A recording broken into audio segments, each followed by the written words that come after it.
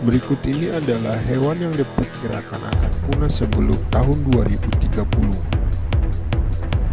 Badak Jawa 77 ekor. Badak Sumatera kurang dari 100 ekor. Panda merah 10.000 ekor.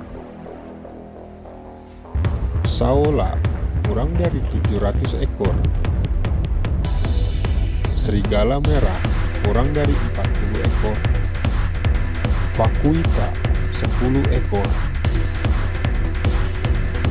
Harimau Tiongkok Selatan kurang dari 20 ekor